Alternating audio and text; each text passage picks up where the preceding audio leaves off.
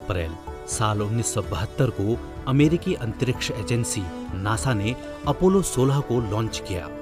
Apollo 16 Apollo अंतरिक्ष कार्यक्रम के अंतर्गत अमेरिका का दसवां मानवयुक्त मिशन था। इस यान को फ्लोरिडा के कैनेडी स्पेस सेंटर से लॉन्च किया गया।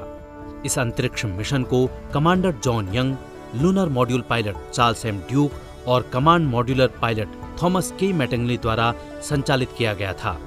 अपोलो 16 ने चंद्रमा के रास्ते में कई छोटी मोटी परेशानियों का अनुभव किया।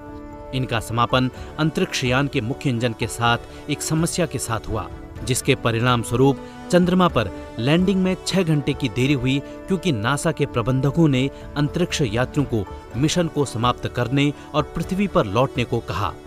नासा ने अंतरिक्ष यात्रियों को योजना से एक दिन पहले मिशन से वापस बुला लिया था। अंतरिक्ष यात्रियों ने चंद्र नमूने एकत्र किए, जिसमें चंद्रमा से एकत्र की गई सबसे बड़ी चट्टान बिग मूले भी शामिल थी। 27 अप्रैल साल उन्नीस सौ बहत्तर को अपोलो 16 सुरक्षित